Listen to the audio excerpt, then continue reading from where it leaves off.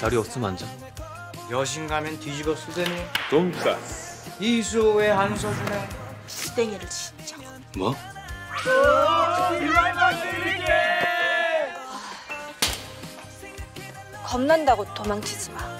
어? 야! 다 나 때문이고 다 내 잘못이야. 근데 임주경한테 장난치지 마.